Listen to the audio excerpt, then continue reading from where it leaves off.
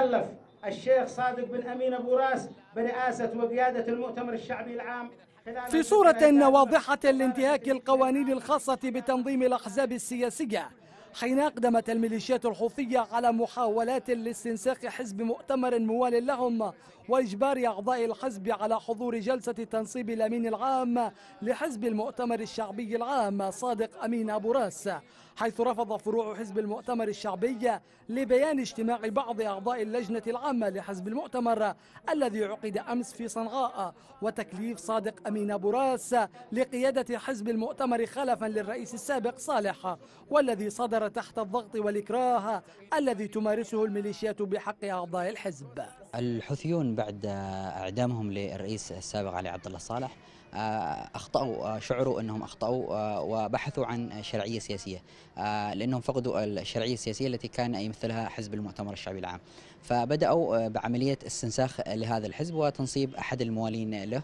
لكن رئاسة الحزب هي تؤول بعد علي عبد الله صالح للرئيس الشرعي اللي هو رئيس اليمن الحالي عبد الرب منصور هادي أعتقد أن الحوثيون بهذه الخطوة يؤكدون سعيهم الطائفي لإقصاء كل المذاهب الأخرى.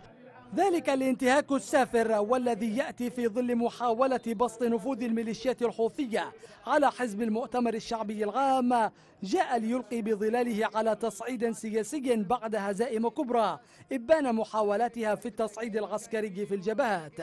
إذا هي فض للشركة واستئثار بالسلطة في صنعاء وإن بدا الأمر عكس ذلك. فلا زالت أيادي الميليشيات الإجرامية ملطخة بدماء الرئيس السابق علي عبد الله صالح والأبرياء من حزب المؤتمر الشعبي العام. المؤتمر الذي عقد بالأمس هو مؤتمر هزلي بكل ما تعنيه الكلمة حول الحوثيين من خلاله أن يجسدوا للعالم أنهم ما زالوا قادرين على إيجاد شراكة حقيقية بينهم وبين المؤتمر خصوصا بعد ان غدروا بصالح والذي كان قد أعلنها صراحيه قبيل مقتله إلى فض الشراكة مع الحوثيين والانتفاضة ضدهم.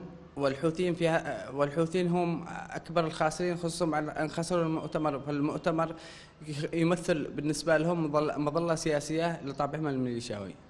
ففي محاولة ساء مبتغاها لإظهار العاصمة صنعاء للعالم أنها تعيش أجواء من التعددية السياسية والشراكة في الحكم ولو صوريا. لا يزال العالم يؤمن بأن ما من أحد يمثل اليمن وحزب المؤتمر الشعبي العام سوى الشرعية اليمنية. ممثلة بالرئيس اليمني. وما كان الشعب اليمني لديهم إذ يمكرون. لا تزال الميليشيات الحوثية تمكر بالشعب اليمني في محاولة بائسة للاستناد إلى حامل سياسي في حزب المؤتمر الشعبي العام رغم فشله. رغم أن من يمثل هذا الحزب هو الرئيس عبد رب منصور هادي. مروى النبيل لبرنامج المشهد اليمني عدن.